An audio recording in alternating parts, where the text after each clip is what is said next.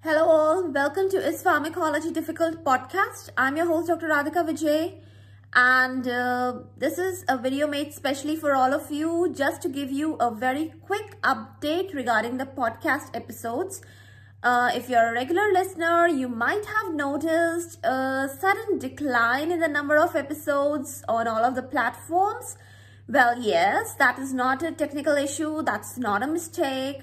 And that has been done deliberately by me because I'm bringing for all of you a big upgradation, a big change, an innovation, a new strategy, a new structured podcast for all of you with the same name is pharmacology difficult. So, uh, yes, today uh, the trailer episode and might a few of the episodes be out, but surely the trailer episode will be out today. So if I put out some new episodes with it, you can mark it as a launch date, as a new launch date of my podcast. Well, uh, the reason being that uh, as I started as a beginner, I learned a lot many new things throughout these five or six months of podcast creation.